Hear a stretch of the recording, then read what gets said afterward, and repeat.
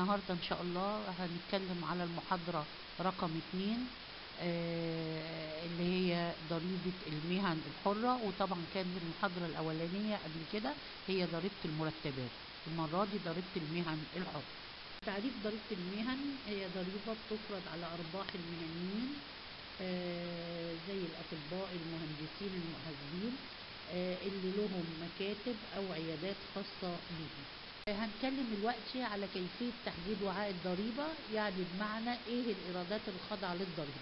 في قائمة زي اللي أنتوا شايفينها قدامنا إحنا بنلتزم بيها بنحط إيرادات المهنة فقط وإنها لازم تكون محصلة سواء اتحققت داخل أو خارج إيه مصر وهنقول بالتفصيل عليها في الملاحظات.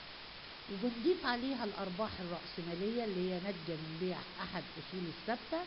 وبنضيف عليها أرباح التأليف أو إيه أرباح التدريب اللي هو إذا كان بيدرب مهنيين جدد أو خلاف ذلك بجمع هذه الإيرادات فبيطلع إجمالي الإيراد بتاعي بخصم منه إيه؟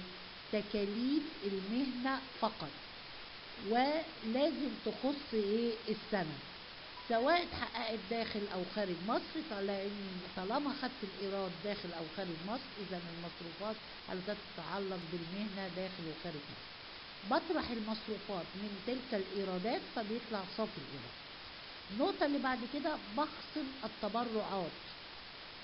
فالتبرعات للحكومة بح- بعتبرها بالكامل من التكاليف تبرعات لجمعية خيرية أو دور علم زي مدرسة جامعة معهد دور عبادة زي مساجد وكنايس فدي بنقارن بين رقمين.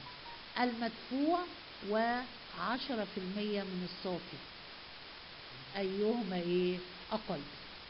بعد كده التبرعات الشخصية زي الزكاة دي ما بتتحطش ضمن إيه؟ التكاليف.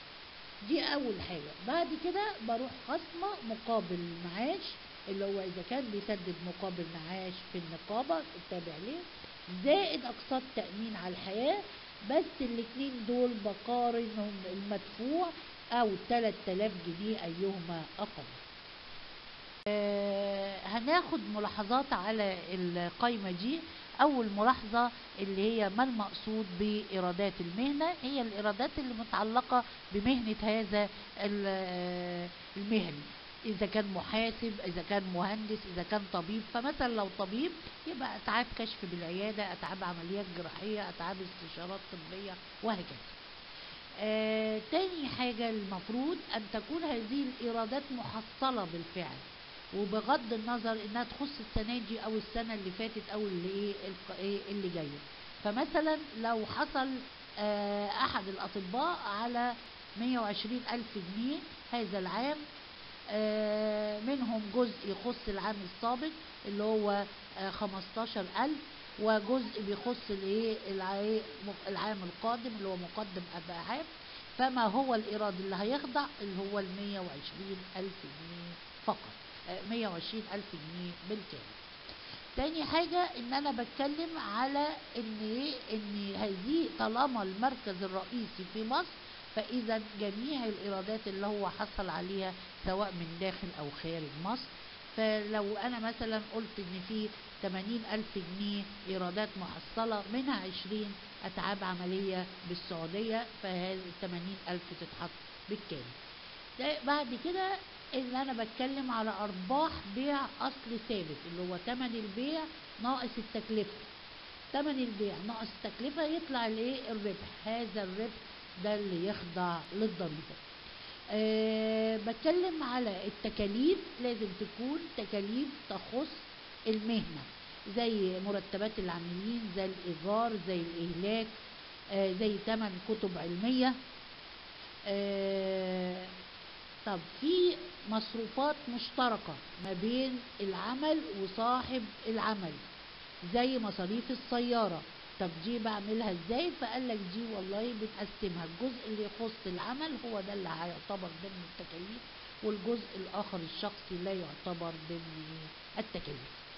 آه وجرى العرف إنها بتتقسم بنسبة تلتين لتلت. آه آه، يجب طبعا إن المصروفات دي بقى غير الإيرادات.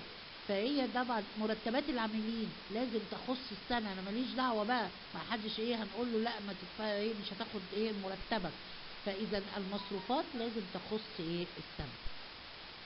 تخص إيه السنة. آه في بقى نقطتين اللي هو أرباح تأليف وترجمة الكتب. سواء العلمية أو الثقافية أو كده فدي معفية من الضريبة بشرط عدم إخراجها في صورة صوتية أو مرئية يعني ما تتباعش للإذاعة أو التلفزيون أو الفضائيات.